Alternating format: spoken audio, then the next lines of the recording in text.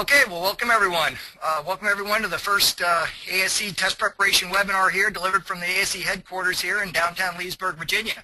Uh, my name is John Tisdale. Uh, as Dave mentioned in his early intro, um, I am the Executive Director of Test Development Operations. Um, I uh, actually work right here in the ASE uh, Technical Department where we actually work with the test and test question development uh, so uh, put together a presentation for you tonight based on a lot of input we get from uh, technicians who uh, obviously contact us after testing, particularly after you've had trouble testing. And uh, so a lot of the in, uh, information that I've put into this uh, into this webinar for you tonight comes directly from you, uh, our technician customers who are out there trying to earn ASE certification and uh, have asked us for some help. So hopefully what I'm going to pass on to you is going to give you some guidance and insight and help you to be more successful testing and more importantly help you have a, a very successful career out there as a technician. Um, really, I, I, start this off with, uh, you know, the, one of the main questions that we get from technicians who uh, have taken an ASE test and have been unsuccessful. They ask me the same question time and time again. John, what technical content do I need to study to pass an ASE test? And unfortunately, my answer to them is, is the exact same every time. I don't know because everybody's needs are different. Um, your needs are different than my needs in terms of the technical knowledge or the technical knowledge gaps that we have to fill with training and education. So I'm not going to be able to actually fill those voids for you. But what my objective is to show you how to determine your personal needs for skill reinforcement. This will help, this should help you uh, select uh, better select study material that's focused to meet your specific needs uh, or you know engage in training classes or seminars or webinars that are going to help enhance your skill set to, to a help you be uh, to help you be more successful in, in taking an ASE test and passing an ASE test but more importantly um, help enhance your skill set uh, in the shop and, and make you a better technician. That's really our that's really our goal is to, is to help you with your career not just uh, get ASE certified um, what I also want to do is give you some, uh, I'm going to give you some tips about um, how to use the new computer-based testing online interface. Um, so um, that being said, let's take a quick overview of what we're going to talk about tonight.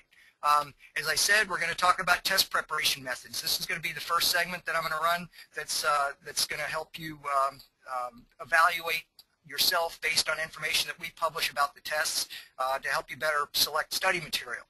I'm going to give you some tips for test taking. We're going to talk about how to evaluate test questions. Um, one of the things you're going to hear me say multiple times tonight, test questions tell you in words what you do in the shop okay? And so in order to uh, in order to grasp the concept of what you're doing in the shop when we give you a test question, you, you have to evaluate questions very specifically in order to do that. I'm going to give you some tips about that. Uh, as I said, I'm going to give you an introduction to the computer-based testing format. About halfway through this presentation, I'm going to transition. You'll have to bear with me with some technology. I got to shift over a slide to the, to the active screen um, to show you an actual demo of the computer-based testing interface. If you have not taken a test in a computer-based testing center yet, um, and even if you have, I'm going to show you some tips about how to use the functionality of that interface to make yourself more efficient uh, when you're taking tests. Um, as we go along, we're going to have some segments for uh, questions and answers. Um, obviously, as David mentioned, the, uh, the question box is open. You can ask questions uh, as we go along uh, while I'm presenting, uh, and Tony and Dave will do as good of a job as they can to answer your questions on the fly during the presentation. So moving right along, um, you know, techs always ask me, John, what's going to be on an ASE test? Okay, and fortunately, ASE, ASE publishes information that answers that very question. That information that we publish is the ASE test information that you'll find in the uh, study guides that we that we publish, uh, which we'll get into here in just a moment. So, um, we, what we do is we create uh, test outlines for each and every test, and they're laid out in the following format. We have a test specification, a task list, and this test specification and task list, that's the outline of the test, and the task list are all the skills that we as technicians should know and understand when we're doing that work for a living, whether it be engine repair, brakes, suspension, steering, what have you. The task list outlines the skills that the questions in the test are going to be based on, and we're going to talk about that more in detail here in just a minute.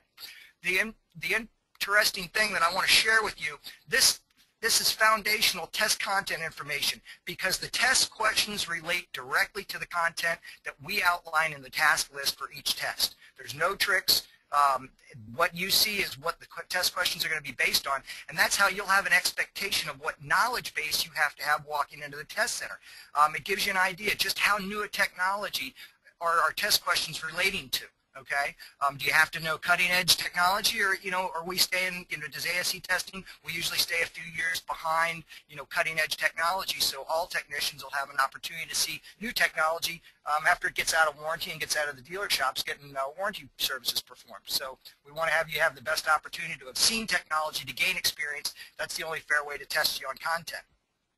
This information, it's published by ASE, okay? So how is it published?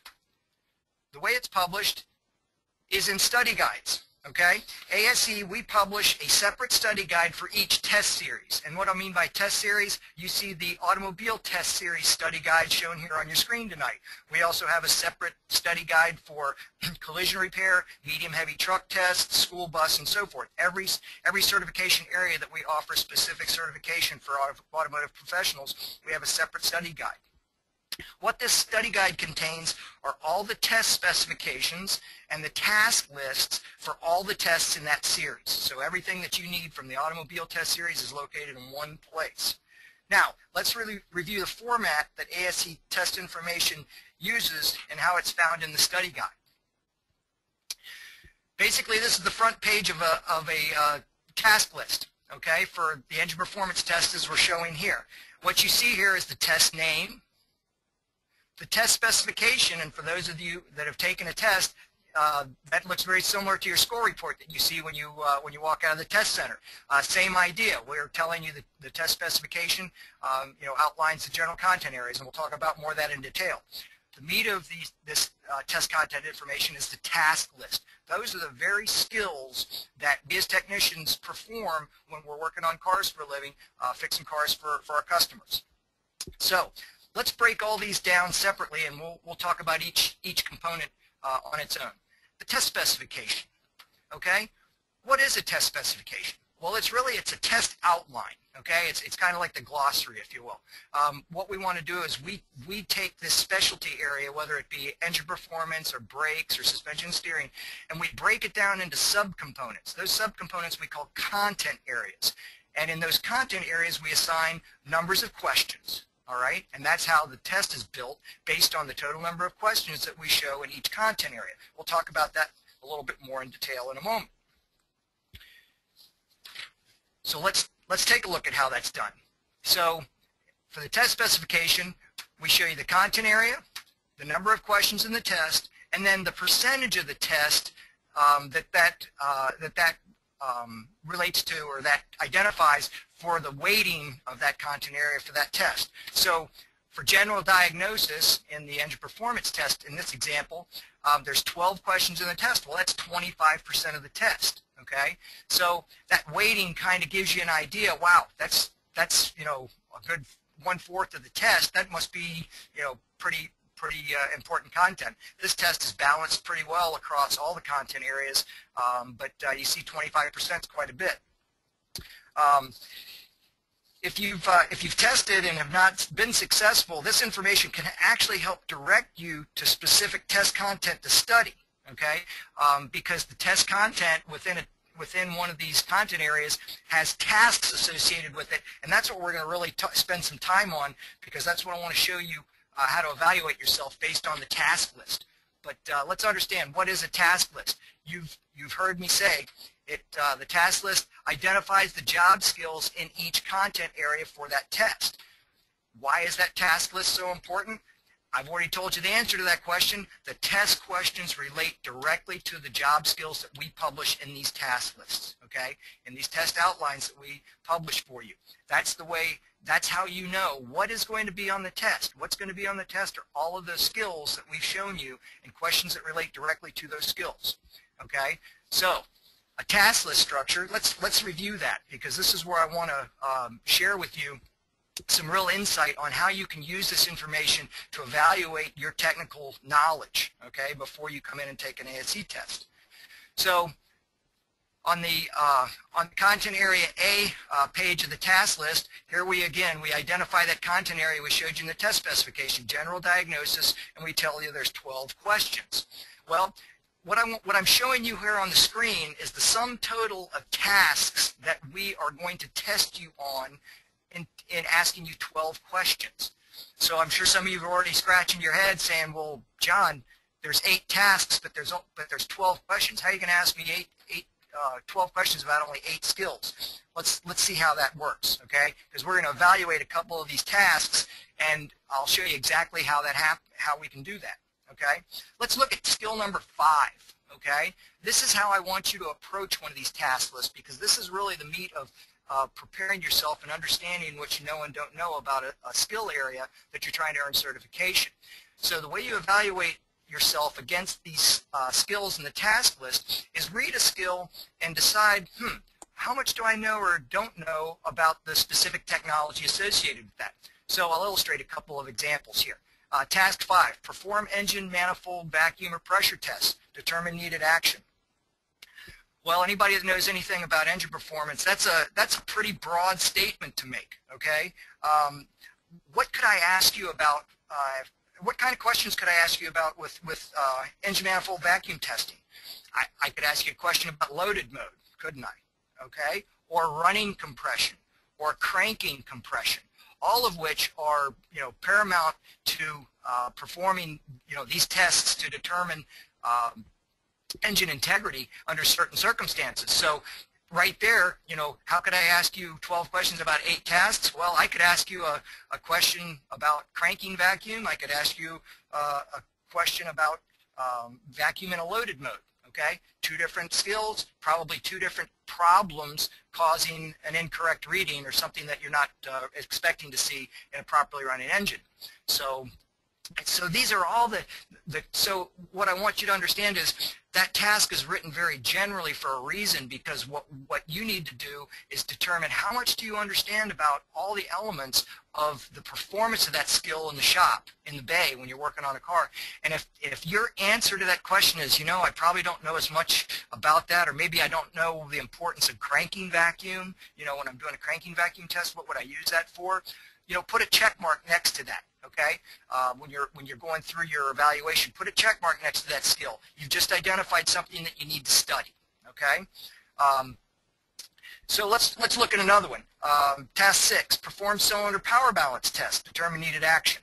Okay, again, you know what is a power balance test? Do you even know what we're using a power balance test for? Um, do you how to properly set up an, an engine for a power balance test? What conditions have to be uh, met in order to perform a, a, power balance test properly. Um, when I after I uh, that's I haven't even performed a power balance test, and I've I've uh, intrigued you with a bunch of ideas about just the idea of a power balance test. Now, after you've performed a power balance test, what kind of readings are you looking for? You know, we could we could go, you know, maybe a little old school with an RPM drop, okay, result, or coil KV, okay. But either way, I could ask you a question either, you know, either with either type of a result, and you're going to need to know what that result uh, means in, with respect to what's broken in, in the uh, setup of that question and making your diagnosis, which is selecting your answer to the question, okay? So again, the idea right here isn't really so much answering questions, but it's answering the question to yourself, how much do I know about this skill? And if the answer to your question when you're asking yourself in the mirror, you know, probably not as much as I should, you've just found another skill area that you need to study up on, put a check mark next to it, and move on, okay? When, when you go through the entire task list for any given test that maybe you're struggling with to try to earn certification for, take the time to go through the entire task list in this fashion. All of those check marks, what they represent is your personalized study plan that you need to fulfill in order to expand your skill set that you've already identified for yourself that needs to, that you need in, you know skill enhancement to uh, a help you be more successful in taking your ASE test for sure um, but more importantly again and I'm going to stress this you're going to hear me say this a million times tonight more importantly um, to make you better tech in the shop because that's really ASE's mission is, is to help you have a great career uh, as an auto technician and be the best you can be for uh, fixing, you know, fixing vehicles and solving vehicle problems for your customers and performing service. Um, I won't go through any more, you know, specific examples. I think you get kind of the idea. Um, but again, that's um, that's uh, that's really um, this information we publish. We'll be talking about how you can get your hands on this. Um, this is published by ASE for free. Um, it's available to you free of charge. Um, you know, the only thing we sell here are, are, tests. We, we give away webinars too. So, um, you know, we, we want to put this information in your hand to help you be successful in preparing um, so that you're successful when you come in and uh, try to try to uh, earn your certification.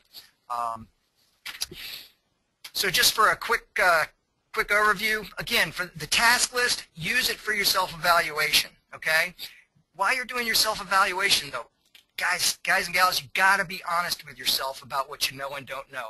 I know a lot of us have been doing a lot of, you know, doing this kind of work for years. Um, you know, a lot of us have learned what we've learned by, you know, learning OJT, you know, on the job. And, you know, that's not necessarily a bad thing.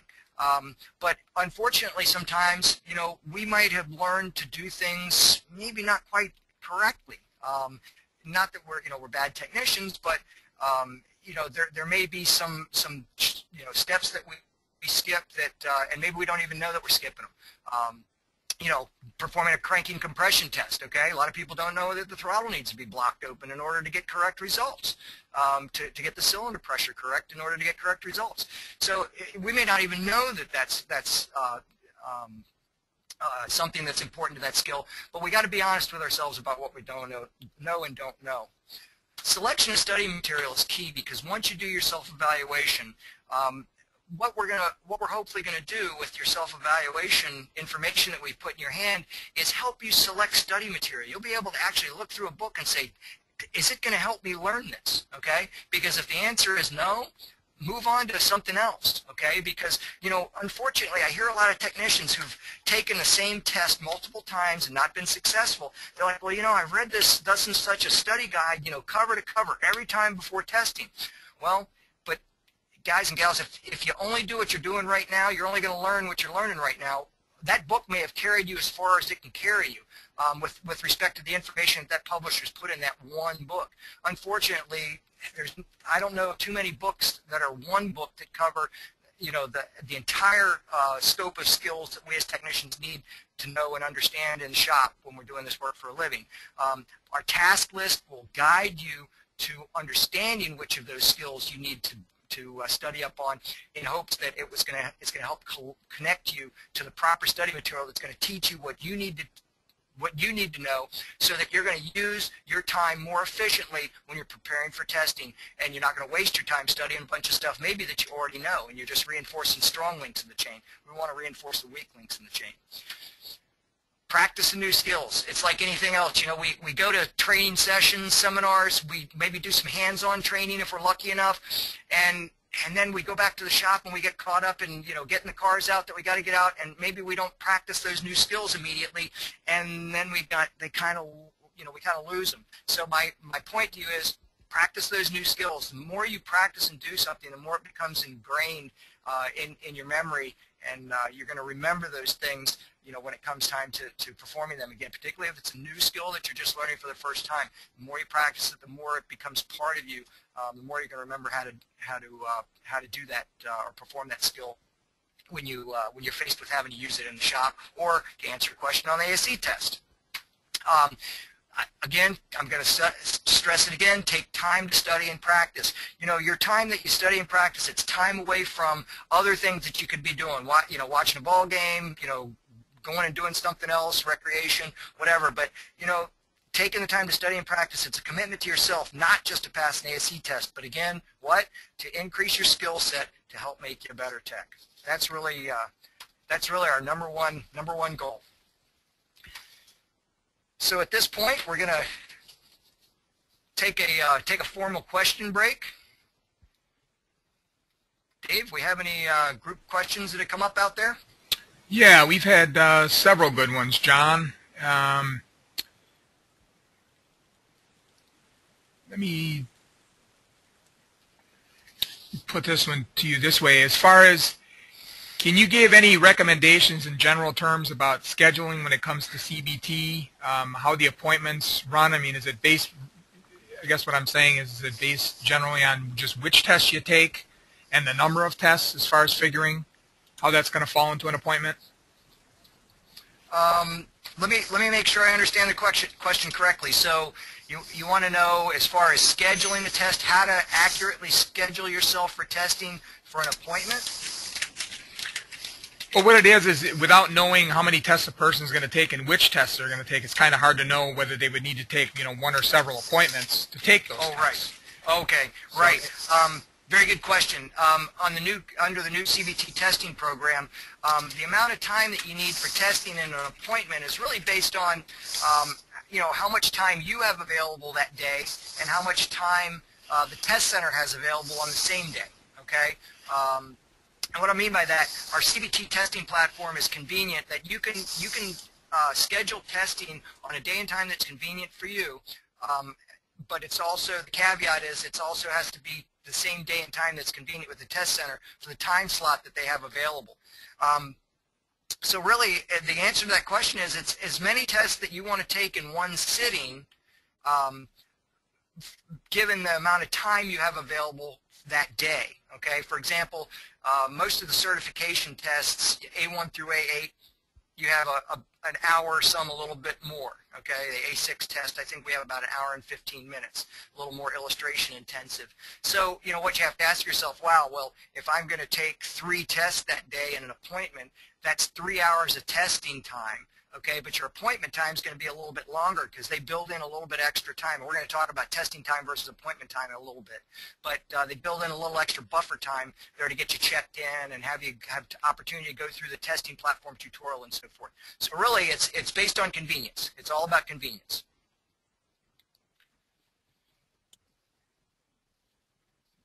Have anything John, this is Tony. Uh, I have another question here. Um, there's another question here. Um, they want to know why we don't tell them uh, the answers to the questions they they missed. Um, do you want to explain why we don't report on specific questions? Sure. Um, the questions that we offer for certification, um, those are written by subject matter ex experts from the field.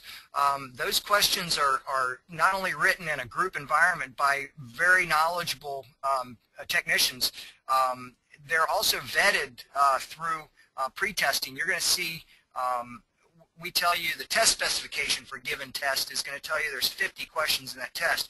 Well, I can tell you when you come to the computer-based testing center, you're going to see 60 questions in that test. 10 of those questions are newly written questions by our SMEs, okay? And what we are doing is we're gathering statistical analysis on those questions to make sure they're clear, concise, understandable, okay, and only have one right answer. We have to do this if we're ever going to use those questions to make a pass-fail decision in a future test, and that's also how we introduce new technology into the test as technology changes and we, uh, we introduce that technology in a test update. If we expose the questions to you to let you to use them to study, um, wow, the investment that we have in, in all the, the creation and the vetting of those questions would go out the window. We'd compromise the test. And so that's why, you know, we, we kind of closely hold our, our questions to the vest and, and not put them out there um, for study. But what we do do is we give you the skills, the skills and the task list to, to really back into the technology that you, that you need to understand. Um, because questions, quite frankly, questions are designed to test your knowledge. They aren't designed to teach you anything. Um, although we can, we maybe can learn where we might have gone wrong in a question. I'm not saying you, you know, you, questions don't, you know, evaluating test questions doesn't help you, but you know, they really, they really kind of point you in the direction of, hey, I, I probably need to study up on engine compression. Well, you know, you might be able to figure that out for yourself if you evaluate yourself against the task list, and we don't have to expose the test questions and compromise our test material. It would it would increase the cost of, our, of the ASE program exponentially if we were to put tests out there um, for, for study, you know, after we administer them. Um, so it's just impossible. Good question. I hear that one a lot. John, here's maybe one more that uh, we should uh, entertain, and that is, uh, are the recert tests harder question-wise than a regular certification test? Um, yes and no. You know, the, the, the harder of a, the harder part of a recertification test is one thing that we do uh, try to try to accomplish uh, in the test development department when we actually physically create the uh, the test form that you're going to see for certification. You know, we try to introduce the newer technology questions, the ones that have been you know written at, at the most recent um, test review uh, workshop and have gone through the vetting process for us to know that those questions are fair and accurate to be asking in order for you to you know to get a pass-fail decision made when you're trying to earn your recertification test. So the difficulty statistically, there really isn't any difference um, in, in the uh, numeric value of difficulty of the test, but there might be a perceived difficulty because there may be some newer technology in there that uh, that we're expect, you know, as a as an experienced technician coming in after five years or ten years for recertification, that you should probably know or understand um, for recert. So the newer technology might give you a perception that it's a little harder.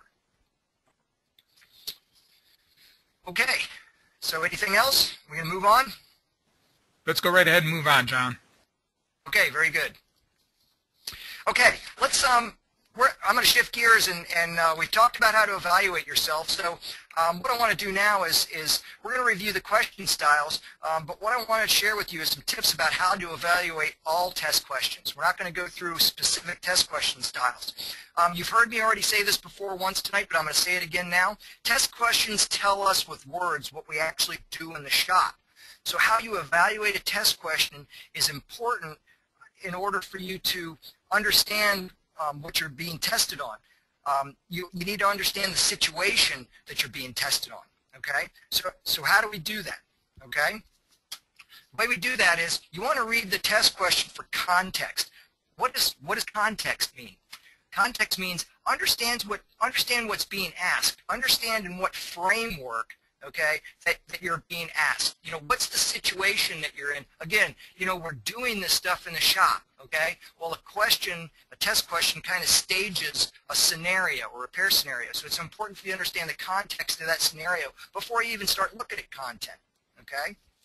Is it a, you know, is it a diagnostic procedure or a repair procedure? You know, are we doing a root cause analysis, um, like, you know, diagnosing low fuel pressure, or are we performing a repair you know, like torque and lug nuts, okay? Um, so understand the context in, what, in what's being asked. Um, analyze all your answer options, okay? And put yourself in the situation. And then what you want to do is then you want to read each question for content, okay? And when you read the question for content, you want to analyze key information in the question, not in the question, the setup of the question, but also all of the answer options, okay? The setup of the question will give you symptoms, test information that we've, that's been obtained for you. Remember, you're not doing anything in the shop, but what we've done is we've performed tests for you.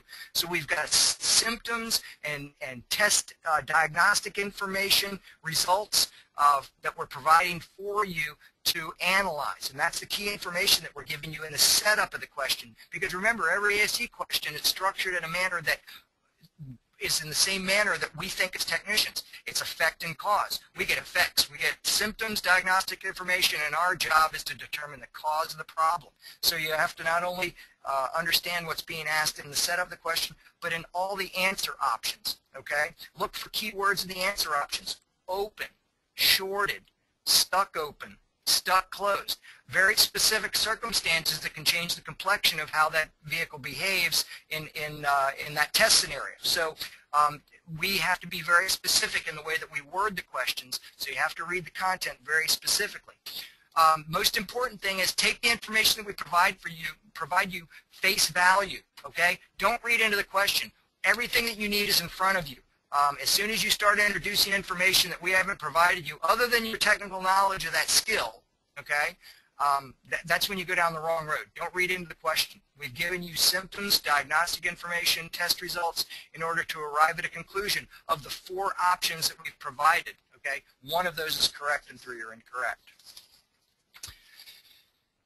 So that's really context and content. Understand the situation and, and make sure you understand, you know, the content of the question, what, what we're providing you for uh, when you're performing your analysis of that question. Um, final recap of test taking tips. Use that task list as a benchmark. Um, find really good study material. Um, one of the things that we touched on, uh, register early.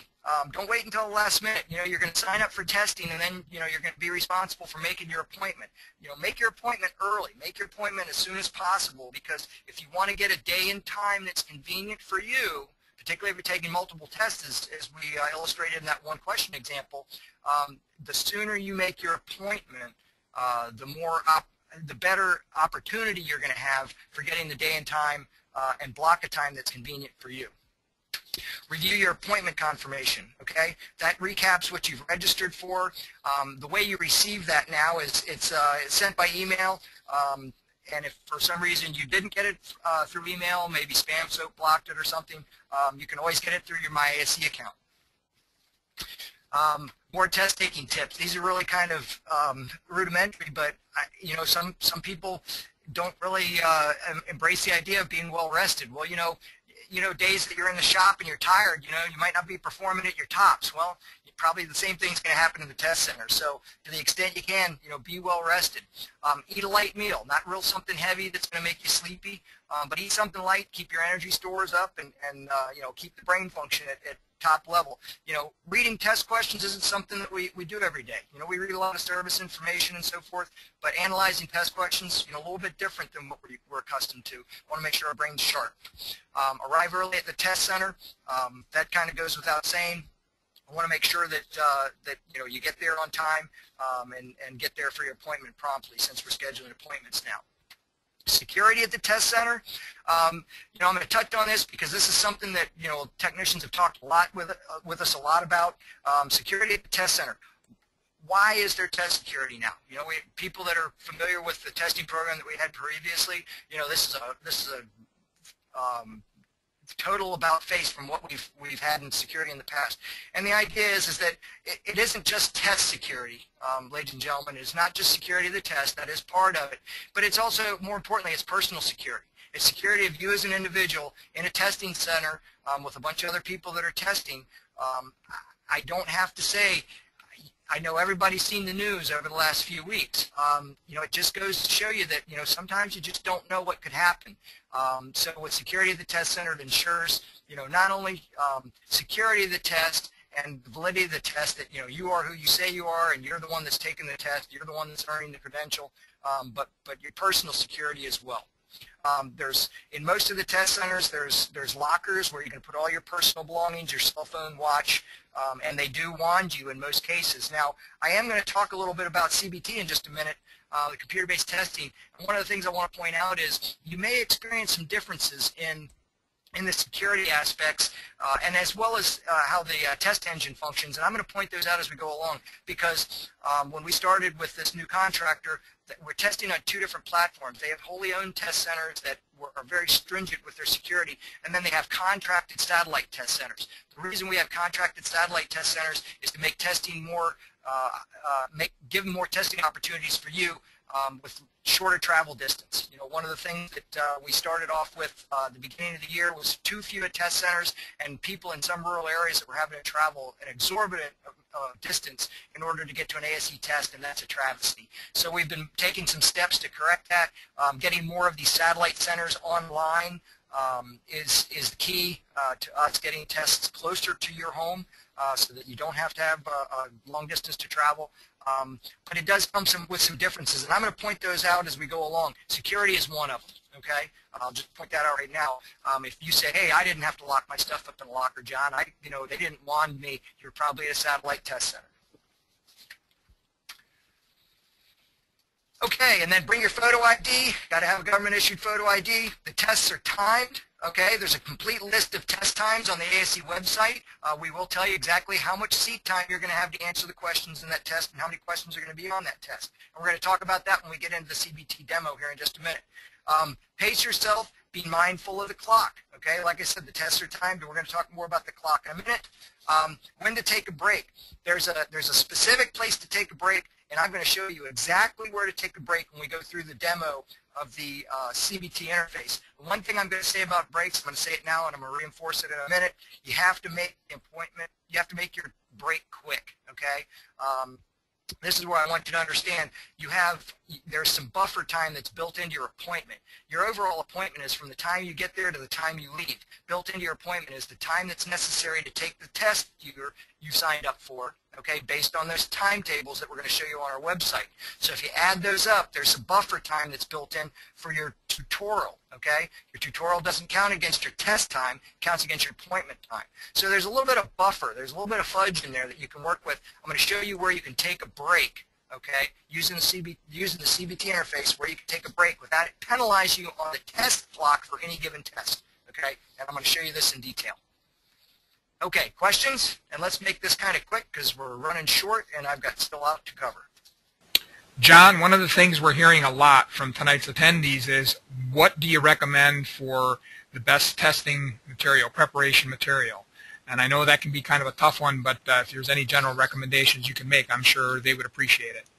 Yep, um, and, and I'm going to answer this very generically because um, there is a lot of good published material out there that can help you uh, bridge the gap of, of where you know you're falling short in your skill set. Okay, um, what I usually encourage um, technicians to uh, to go engage themselves with is not so much the type of study material out there that's just a bunch of repetitive questions. Although you know questions help us to enhance our test taking skills. Okay, um, but what we need to enhance are our technical skills. Our technical skills are going to help us to understand a question, a test question that's asked of us, and we're going to understand how to diagnose the information in that question in order to arrive at an answer. Same way as we're going to be able to use that knowledge to diagnose the problem with the car and arrive at a conclusion and a repair for the customer that's going to fix the car right the first time. Okay, direct parallel. So what I tell technicians is get study material that's going to teach you at the fundamental basis of the performance of that skill, the knowledge of that skill and the performance of that skill. Okay, if, if, if I use electrical as an example, you know, if you're not good with an electrical meter, well, probably the first thing you need to understand is Ohm's law. Okay, um, because you know, not that I'm going to give you a specific test of, of the components of Ohm's law, okay, but I am going to ask you questions whether you understand applied voltage. You know, what happens on the feed side of a circuit? What happens on the ground side of an energized circuit? What happens to an electrical meter? Know, what's it supposed to look like? Um, I am going to ask you questions about resistance, uh, about current flow. Okay, so if you don't really understand, you know, the, the, the technical fundamentals, the physics involved with that, um, you, you, know, you're going to be a little bit lost when it comes to the technical side of, of diagnosis. So um, find material that, that teaches you at the foundational uh, essence of, of the, of the uh, knowledge of that skill. Anything else?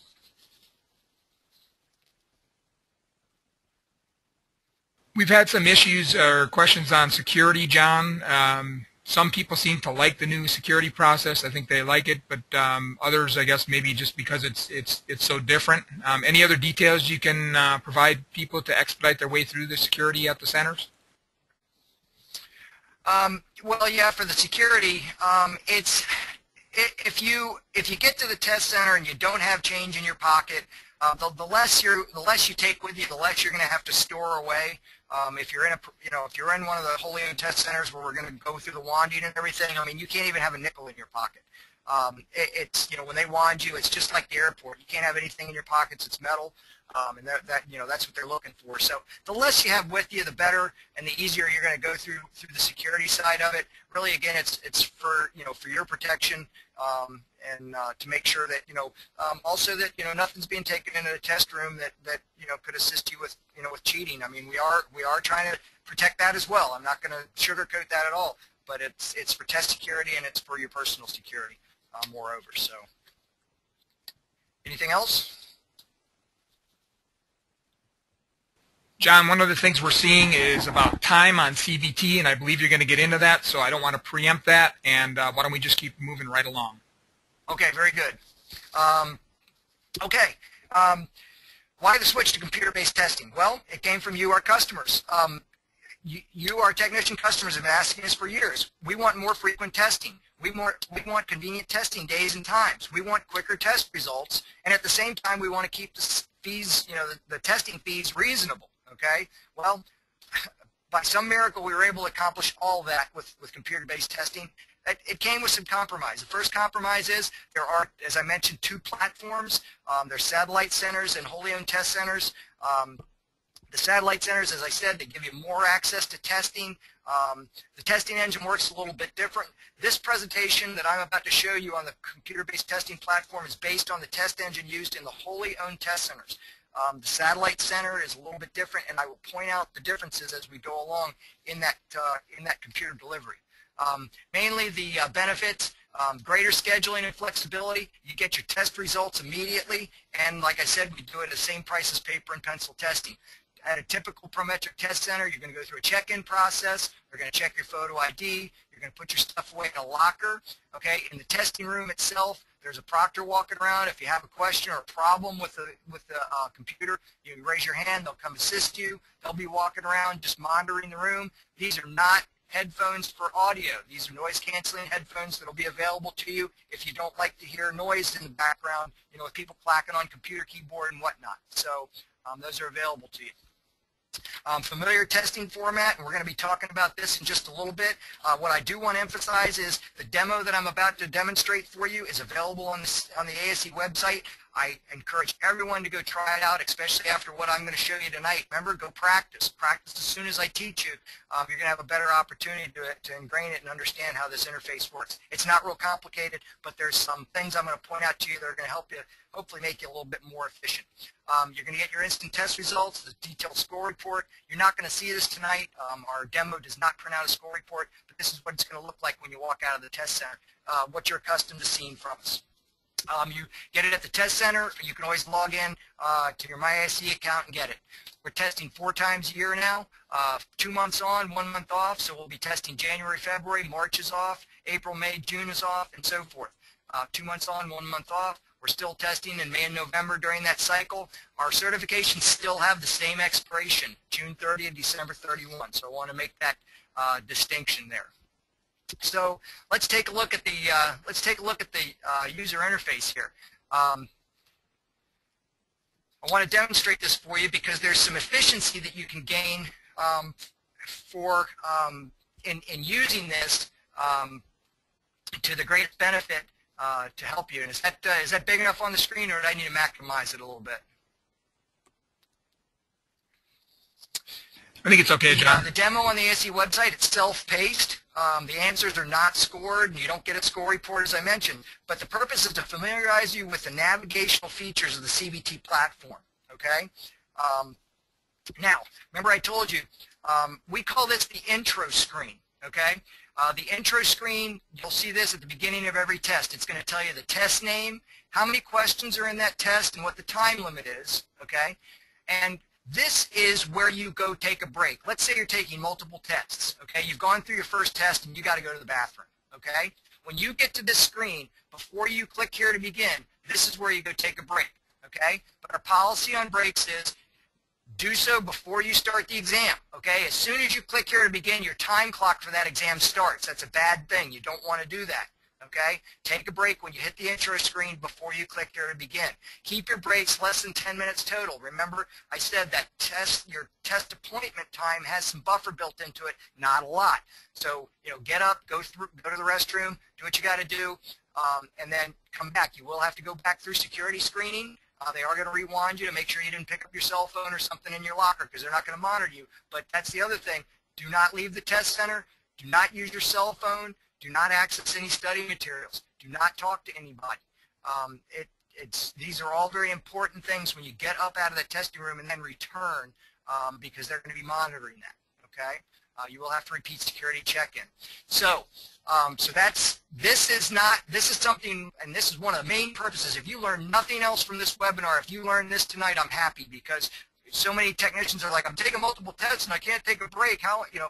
This is something that we actually built into the platform um, after our after our uh, trial run uh, the summer of 2011, uh, so that we were able to build breaks into this. Um, it was over, overlooked, so um, we're pretty happy that we've been able to accomplish this for everyone. Okay, so uh, you click here to begin. That starts the exam. This is what we call the uh, non-disclosure agreement. This is where you uh, certify that you are who you say you are. If you disagree um, and click next, it's going to go to a uh, statement that says you say you do not agree with the test name and information. If for some reason your test name and information is wrong, raise your hand. Okay, you got to tell the test uh, proctor, hey, this isn't this isn't me for some reason. okay? Um, and then we'll, handle, we'll have to handle that specially, okay? If you disagree twice, it shuts the test down and you're done. And I'm not going to demonstrate that for you because I want to keep moving. So let's say you read this, it's the right exam, it's your name, okay? Um, you, you do have a, a couple of minutes on this screen. It is time. So let's you agree who you are and you move on. Okay, now, every uh, test that you take is going to come with a tutorial, okay? Um, I'm going to demonstrate the tutorial for you, okay? But what I want you to know is if you're comfortable with the with the with the user interface, if you've taken multiple tests and you're like, oh, I know how to do this, you can end the tutorial and move right into your test, okay? Because there's 15 minutes up here logged into your appointment time for this tutorial, remember, that doesn't count against your test time, okay? This is part of your appointment time, all right? But if you don't need the tutorial because you're already familiar with it, you can end tutorial and move on, okay? But for the sake of tonight, I want everybody to see it. So we're going to move on. Um, kind of a one-on-one approach, you know, using a mouse. You ask me, John, why are you showing me how to use a mouse? I mean, come on, that's that's like computer 101. Well, believe it or not, when we did some surveys, um, we had a lot of our technician customers that were not familiar with the use of a computer. So, you know, obviously you say, well, if you've gotten to this point, I certainly know how to use a mouse. Well, we also want you to know and understand how to use a mouse when you're selecting answers to the question. And that's the idea here is how do I use the mouse to answer the questions in the test so I get a proper test result. Okay? Okay, and then we teach you how to use the buttons. And I'm going to go through these all separately, but each of these, the tutorial explains uh, each button that's in the exam, what it means, um, and what its function is, okay?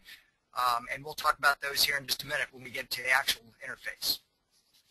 Flagging the question. I'm going to spend a lot of time on this here in just a minute. I know we're getting close on time. Um, flagging is really what you're going to use, the function you're going to use to help you be efficient when you're taking the test. Okay, this is going to help gain you so much efficiency um, in your new approach to testing. We all had our methods with pencil and paper. They can make a little mark on the answer folder or circle on a question in the booklet. It's a new world, and we've got new skills to learn uh, how to use the interface. Navigating through the exam, you can always go back, okay, or move forward. Okay, so you have previous question, next question. Um, if you didn't intend on going forward, you can always move back. Um, using the scroll function, um, we'll, we have got an example of this in the user interface. Uh, in our example, we have an example question that uses this. Um, some of the questions do require a little bit of scrolling because of the size of the illustrations, uh, and we'll demonstrate that on a specific question.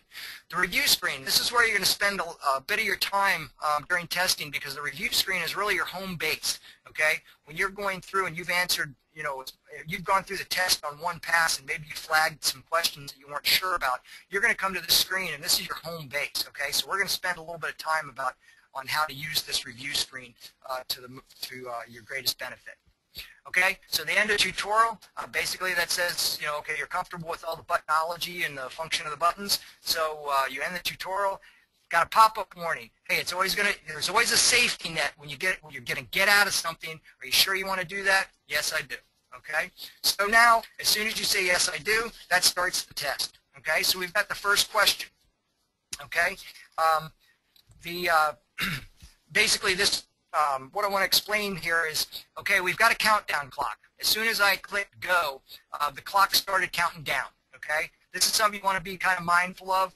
Um, this is how much time you have remaining for that test. Um, if you are, if English is your second language, there's a glossary of terms. Um, this actually isn't live, but in the live version, these are actually hyperlinks to, you know, the, the letter for that word to help you be more efficient, to quickly jump to a word that you want to look up a, uh, in the Spanish glossary. Um, so this glossary is in there if English is your second language. The help screen. Basically, this is just a recap of the tutorial, okay? Using the mouse, navigating buttons, flagging, scroll functions, everything you went through the tutorial, that's a recap of the tutorial, okay? Um, it also tells you the question. You're on question one of five, okay? We have five sample questions here. and then the review screen. You can actually jump to that review screen, okay? Um, and we're going to spend a little bit of time here in a minute um, and uh, tell you how, how to use home base to your most benefit. Okay? So, um, just for sake of example, I'm not going to answer a question here. I've read this question, and uh, for some reason I didn't answer the question. Okay? Um, what I want to show you in this example is um, this uses the more button. Now, see how you can't see the whole question here. So you'd click this more button, And what that would do in the actual user interface, it doesn't here, is it would move you down to the bottom of the page. It's kind of like a page down button, okay? And what that does, it allows you um, to see the entire question, make sure, and then you can still use your scroll button to, you know, read the question, say, okay, the horns in the circuit only blow if the jumper wire is connected between terminal 30 and 87. So then you might need to kind of move a little bit while you're evaluating Tech A, what he says and what Tech B says. Okay, so you might have to scroll a little bit and, okay, I'm satisfied with, um, with my diagnosis. I'm going to, uh, you know, I'm going to select an answer option and I'm going to move on. Okay. Um, I think what I intended on doing here for example's sake is I want to flag that first question. Okay, I flagged that question. I read that question and I wasn't sure about it, so I flagged it. Okay, this question um, I'm pretty good with it, and I've selected an answer, so I'm going to go ahead and move on. Okay, um, just for the sake of example, I'm going to leave this question blank, and I'll show you why in a minute. Um, this one here, I read this question, and okay, I'm going to go ahead and select my answer, um, but I'm not real sure about my answer, so I want to flag that question. I, I'm, I'm, it's not like I'm dumbfounded. I've got a pretty good idea with that, but I don't want to waste any more time on this right now. I'm going to come back to it later. So I'm going to, I'm going to select my best option now, and I'm going to flag it, okay? And then I'm going to move on, okay? And uh, just for the sake of example, I'm going to go ahead and, and maybe I maybe I thought I selected this. See, uh, one of the things I want to show you with the user interface, you can click on the radio button or you can click on the text, okay, to select your option. You can't click out here, okay? This isn't going to change anything. So the example I wanted to show you was um, maybe I clicked here and I thought I answered that question, but it really didn't log my question. So if you're at a Prometric wholly owned Test Center, when you come to home base, you've gone through the entire test, okay? At a Prometric wholly owned Test Center, you're going to see this count up down here. It's going to tell you that you've got three unanswered questions, two flagged questions, and two questions that you've answered. Now, one of these could have been answered and flagged, okay?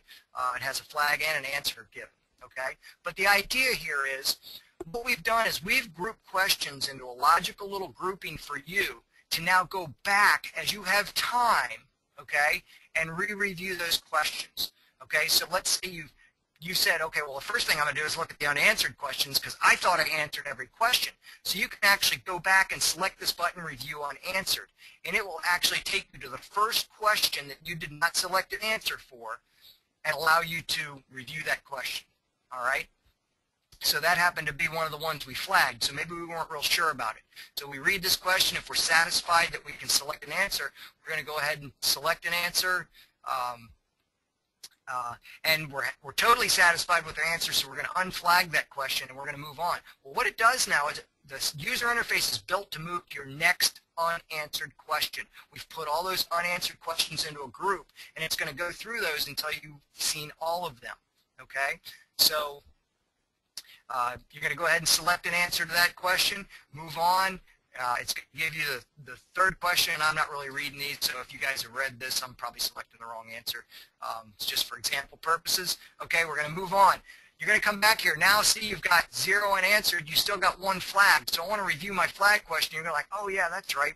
And maybe, maybe you kept this flag because you selected an answer, but you weren't really sure about it, but you also didn't want to waste a lot of time this allows you to keep that question flagged until the very end because what I want to teach you with using the flag function is this gives you an opportunity to continue to keep questions that you're unsure about in the flagged mode and then continue that being flagged if you're still unsure of the answer. And then you can you can sort back through all your flagged questions and answer the ones that you're comfortable with and unflag them. The idea is, is that you want to give your best shot at the, at the most questions that you can answer in the event that you're running out of time, okay? Um, we, we've, you know, we've had some, uh, some experience with technicians saying they've run out of time, although our, our studies fortunately have shown those aren't a great percentage, but any percentage is bad. But if but what we want you to do is be more efficient, and the user interface can help you be more efficient, again, by using this flag function to be your marker for questions that you're not sure about. And when you get an opportunity to come back to the review screen and then review those flag questions, if you're still not sure about it, keep it flagged. Go on to the next question. And then, you know, that next question that you flag, maybe you're comfortable with your answer and you unflag it. And you get it sorted all, you get sorted all the way down to those ones that are still flagged that you're just not sure about. And if you still have time, you take your best shot at them, okay? Because uh, again, I always say a guess is a guessed answer is better than no answer because if you don't offer an answer, you got a 100% chance of getting the question wrong okay? If you, if you don't offer an answer, you get a 100% chance of answering the question wrong. If you offer an answer that's a swag, you got a 25% chance of getting it right. So play the odds just like we do with the Powerball lottery. Um, now, the CB, the ITT, the Satellite Testing Center user interface, I want to tell you the differences because this is really where the functional differences exist if you're in a satellite test center. In a satellite test center, you don't have this uh, functionality down here, this count up, okay? Um, and you don't have these buttons to, to help you to go back and review those, those groups. What you do have the ability to do is follow the icons. You see this little flagged icon? Well, you have that in the, uh, in the satellite test center. So what you're going to do is you're going to wind up, if there are more questions here, you'd scroll through your list. So if you had a flagged question or an unanswered question, you could simply double click on that question, okay, offer your answer for it, flag it or unflag it, okay, and then go back to the review screen. And what you're going to do is you're going to parse through your list of flags and unanswers based on the icons that you see, and you're going to use the double-click jump feature to go back to that specific question, and then go back to home base to do your review of the questions uh, where you stand with respect to your responses. And that's really where, that's really, again, where the functional difference exists between a satellite test center and a Prometric wholly owned test center. Um, now, um, one thing I do want to point out, um, we remember that safety valve that I saw, that you saw pop up, that pop-up warning when we were going to leave the tutorial? Okay, well guess what? When I go to submit for scoring, boom, are you sure you want to submit for scoring? Okay, there's a safety net here. Okay, it's going to save you from scoring this test if you weren't really ready and, and uh, hadn't intended on doing that. Um, I also want to tell you about two other pop-up warnings you're going to see. There's a pop-up warning for time okay? If you, you know, if you're just not paying attention to the clock, well, guess what? When there's 15 minutes left, a box is going to pop up saying you've got 15 minutes left, okay? And you're going to click OK, okay, and the box is going to go away. You're going to get a second pop-up that's going to say you've got five minutes left, okay? So we got warning, pop-up warnings at 15 and 5. 15 minutes left and 5 minutes left, whether you're watching the clock or not. We're going to give you a little bit of a safety net so that you can start to pace yourself based on where you stand with the responses you've given in the test so you can answer again as many questions as possible to put your best foot forward in, uh, in achieving a passing score. So it's, it's a little different world. Um, ladies and gentlemen, it's a little different world in the computer-based environment, and so you know, I, I wanted to share some uh, some of these tips with you um, to, uh, to help you understand the, the functionality of the user interface. Again, it's ASE.com. You can go and practice this yourself. Come up with your own scenarios. You know, come up with your own um, um, way that you, you do this. I'm just giving you some suggestions how to, you know, how you can sort, you know, flag questions and then get all the way to the end of the test and then go back through your flag questions and then sort them down again. And then if, if you wind up not getting to the last three questions, well, that's better than getting stuck on a, on a question at question number 25 of 50, spending a lot of time on it, not getting to the last 10. If you didn't answer the last 10 questions, maybe you would have answered seven out of those 10 right. You'll never know. Okay, so use the flag function to help you pare them down and put your best foot forward with the with the content knowledge that you do possess. Um, you know, you Every ASE test doesn't require 100% to pass. So, you know, you can miss a few questions and still pass the test. We want you to put your best foot forward with all your responses. So I'm going to say, yes, I want to submit for scoring. Uh, after you for, submit for scoring, you're going to be presented with a survey about your testing experience. We appreciate you taking the time. It's your input on the survey that's, that's created change in the testing program this year. Okay, we've done, we've been at this for an entire year, and it's all your input that's helped us try to make this better for you, our customer, giving us input. If you don't tell us how you feel, if you don't tell us what you think, we're not going to know. And so um, we're going to we take your input very seriously, and the survey helps us with that.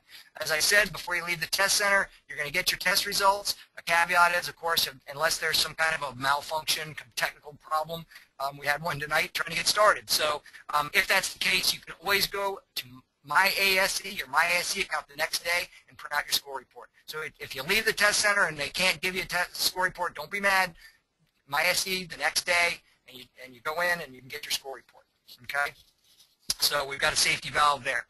Um, that's the end of the demo exam. At the end of the demo exam on the ASE website, we show you some resources that are available to you. They have practice tests. These are you know tests that we provide remediation. What's remediation? We tell you why A is right, B is wrong, and C is wrong, and D is wrong. Okay, so we'll give you a question scenario. Again, nothing that's going to enhance your technical skills. It'll help you hone your test-taking skills and maybe help point you in some, some direction of some technical uh, knowledge that you need to enhance. So practice tests are a neat resource. We have tips for test taking. That's a nice little tutorial that's available free of charge on the website. And again, as I mentioned, the study guides. Um, we've talked about the study guides already in this uh, presentation. You know, that's what I want you to use to do your uh, self-evaluation. Um, evaluate what you know and don't know about the test content that ASE is telling you. The ones who deliver the certification test, we're telling you these are the skills that we're, the questions in the test are going to be based on. Okay, you might see some of these out in other publications that you know those publishers swear they've got the latest and greatest, and they might be third edition. Okay, they might be old. Okay, get them from us. They're free of charge and they're up to date. Okay, I can guarantee the information we're giving you um, here is good. So um, let's let's see.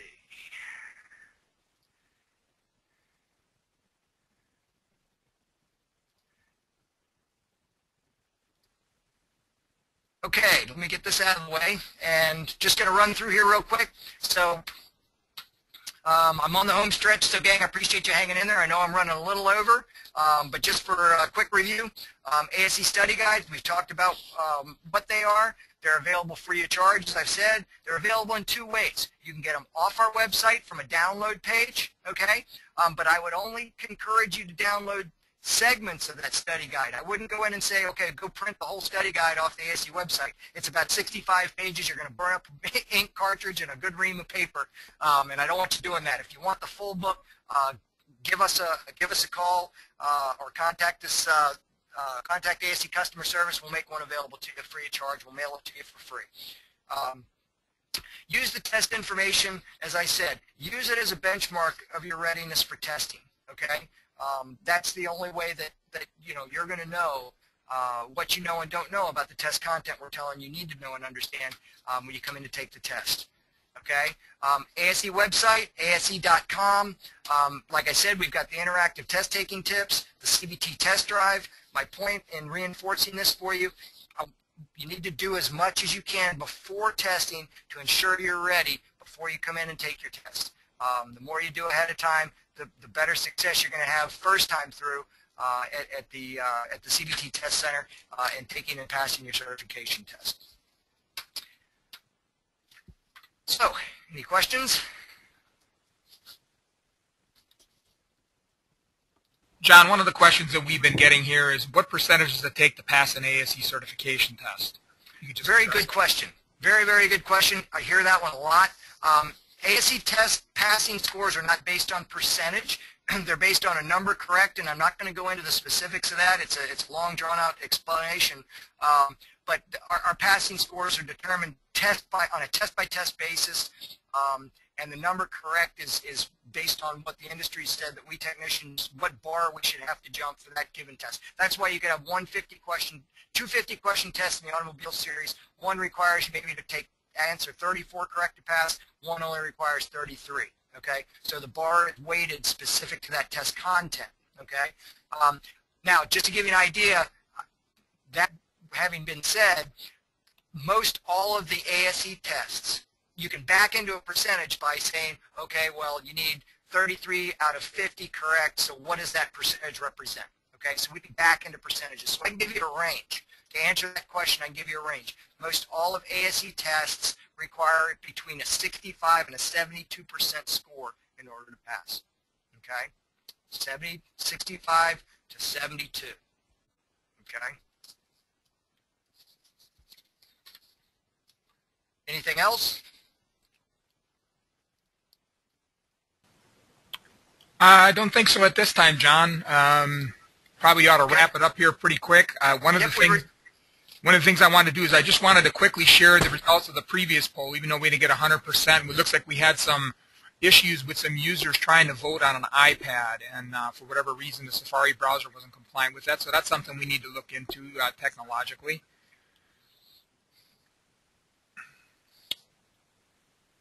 Everybody see that poll okay? We had 56% yes were certified, 44% no. So, you know, kind of a kind of a split. Yep. And then we had one other polling question tonight. This about is how going to did you help hear us about to, this webinar? it's going to help us to uh, to know how to reach it because we're going to be doing more of these in the future, and we'd certainly like to reach our audiences in the best way the way that you want to be reached. So we appreciate your responses to this poll. One of the things I'm going to talk about, I was actually going to go to the next slide, but while you guys are polling, um, uh, I have some what's new at ASE, and I'm not going to go into that in detail. Um, just to let everyone know, as a matter of information, um, there's been a change in the L1 and the L2, the advanced level recertification policy. Um, you no longer are required to have a current uh, A8 or the um, uh, the medium heavy truck re prerequisite requirements that are needed for L2. You are no longer required to have those to recertify. You still need them the first time through, um, but when you come in recertify, we're not asking you to have uh, the, the prerequisites uh, cert still active in order to take the, the uh, L1 and L2 tests for recertification. So a little bit of a policy change. Again, that's come from your input. Um, and we appreciate that input. And you know, like I said, input affects change, and uh, we heard and we uh, we heeded your uh, we heeded your interests. Uh, our board of directors said, yeah, that makes sense. There's no no reason to keep testing advanced people that have accomplished that on you know the 101 level uh, knowledge in the other exam. So, um, and our pass rates kind of you know supported the fact that you know most people that take and pass a recertification advanced level test, you know, they, they pass their, their recert on the on the prerequisite, you know, almost 100%. So, so we're not asking you to do that. John and um, Dave, I just want to jump in here. A lot of people have been saying good night, and we want to wish everybody a very Merry Christmas and all the best for the new year. Um, we thank you for attending, and uh, we've been very impressed with the uh, questions we've had this evening. So thanks a lot. We hope you found it as enjoyable and useful as uh, we did. And back to you guys. There will be a recorded version of this webinar. Um, take a look at the ASE website. Uh, we'll, we'll, tell you how to get to it. Um, so if you want to share this with some other folks that uh, you feel might be a benefit to, um, even though they didn't attend and register to attend tonight, it's going to be available for them. Uh, there'll be a link off our website. So uh, we, we hope that, uh, I certainly hope that the uh, insight that I've shared tonight is going to help everyone with your test preparation efforts, your certification efforts, and more importantly, as I've said, and I'll say it again, with your, your efforts in, in making yourself the best technician that you can uh, for yourself and for your customers. And, and uh, it's just, it's uh, all a very good thing. And again, we appreciate you taking the time, making the personal commitment uh, to, to be here tonight with us. We appreciate you spending your time with us. And uh, I'll echo Tony's, uh, I'll echo Tony's um, wishes for a happy and safe holiday season to each and every one of you. Um, we've all been truly blessed. It's been a great year, and we're looking for a great 2013 with all of you. And just to put a final comment on that, John, uh, and a wrap on this webinar is thanks again everyone for attending and spending your evening with us tonight. Uh, I hope you were somewhere comfortable as you took all this information in. It's uh, very, very encouraging to see the kind of response we've gotten predominantly here to the ASE email announcement about this webinar. And continue to watch your email inbox and our website for announcements about upcoming webinars as well as postings on the recorded webinars. And as John mentioned, this event was recorded and we posted for, uh, for viewing uh, at a later date. So once again, happy holidays to everyone and thanks again for attending.